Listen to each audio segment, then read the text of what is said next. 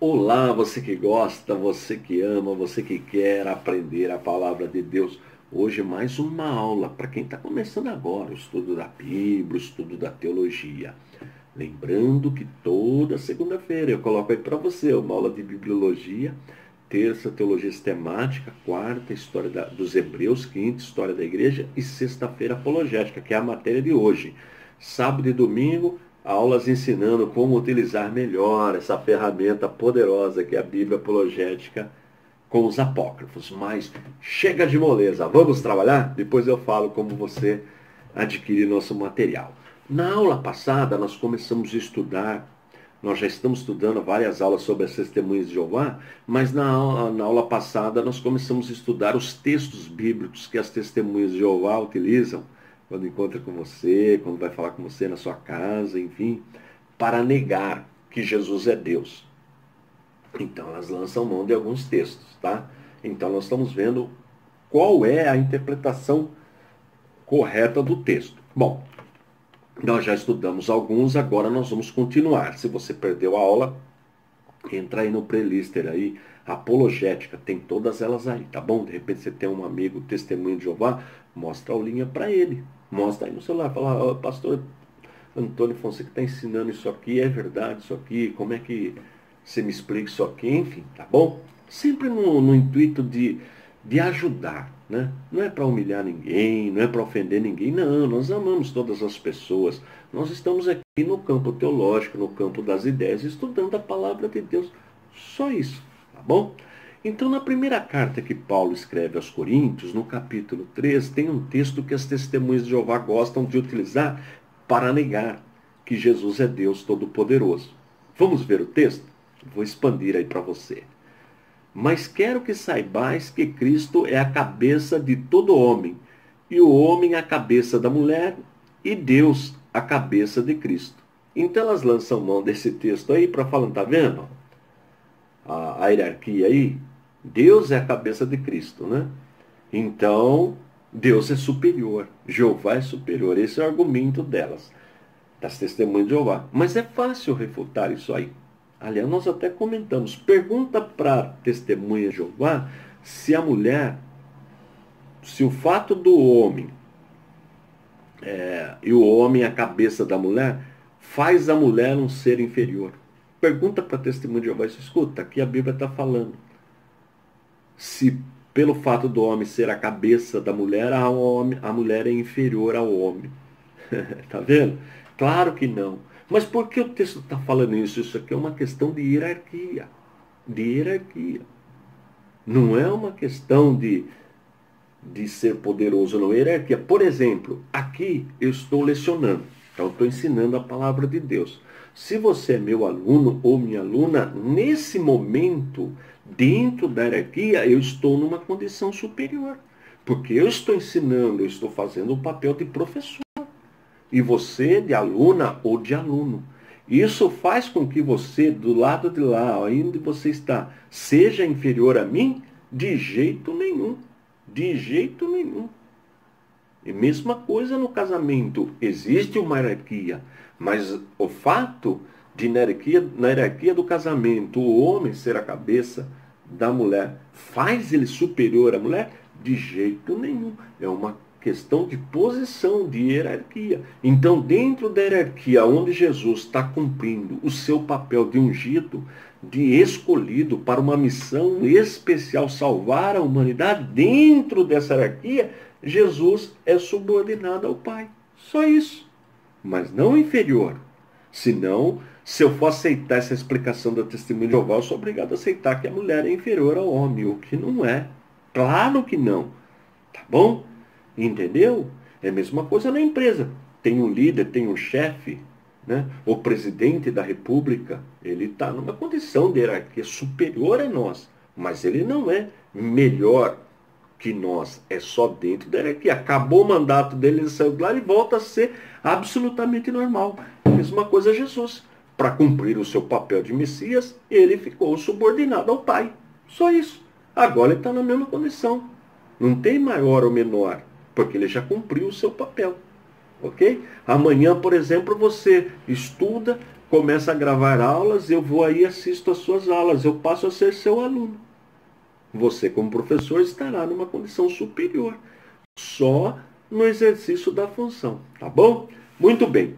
Mas vamos para mais um texto? Na primeira carta aos Coríntios, capítulo 15, versículo 28. Olha o que diz. E quando todas as coisas lhe estiverem sujeitas, então também o mesmo filho se sujeitará àquele que todas as coisas lhe sujeitou, para que Deus seja tudo em todos. Mesma coisa, mesma coisa. Olha aí. Mesma coisa que o, que o, que o texto anterior. Na condição. É uma condição, só isso. Não quer dizer que é inferior ou que é superior. Tá bom?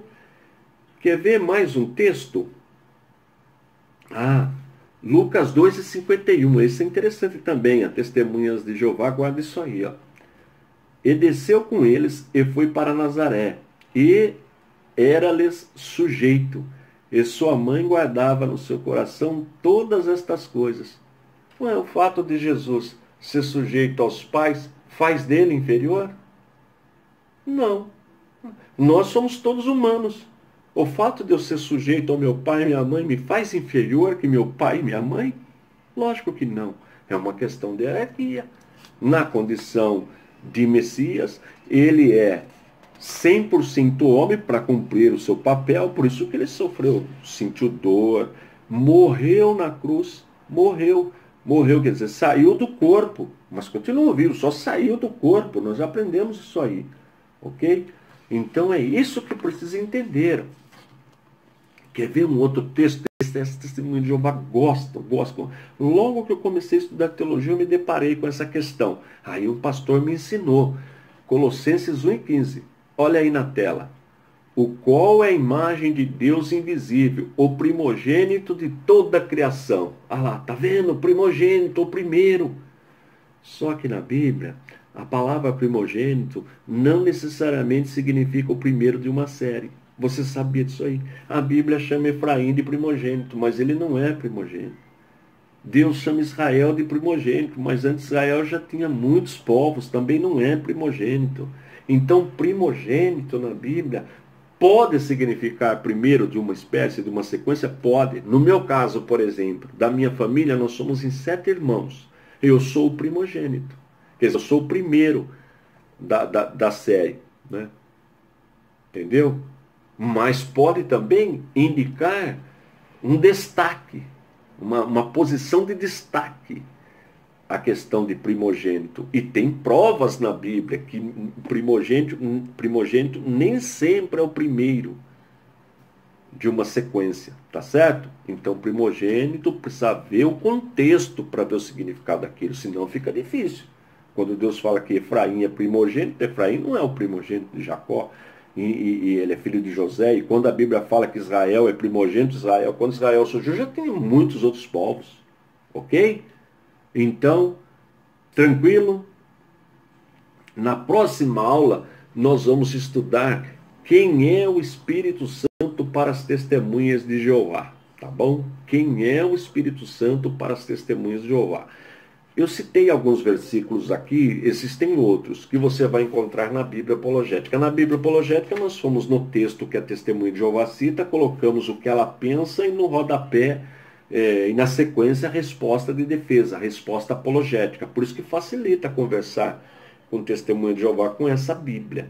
Né? Mas isso serve para conversar com mormon, kardecista, espírita. É, enfim, culto afro, qualquer religião, você conversa com a Bíblia apologética, maçonaria também, tudo aqui sendo refutado, tá bom? Uma palavra de defesa, Bíblia apologética.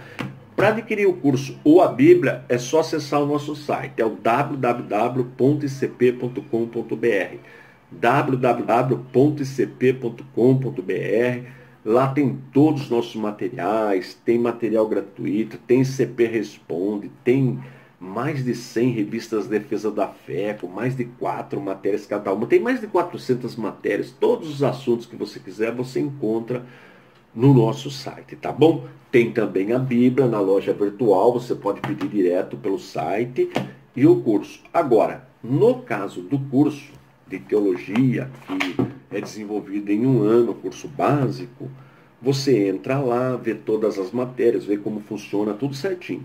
Aí você, como você assiste às minhas aulas, se você quiser um desconto que pode chegar até 50%, então pelo WhatsApp você envia uma mensagem. Estou assistindo às aulas, quero participar do desconto.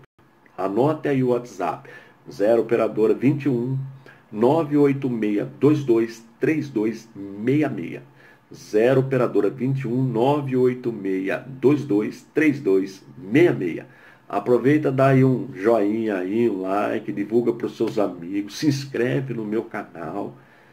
Pelo WhatsApp, passa o link, fala, olha, eu estou vendo esse aqui, esse programa aqui no, no YouTube, está sendo legal, vale a pena, é fácil de aprender, tá bom?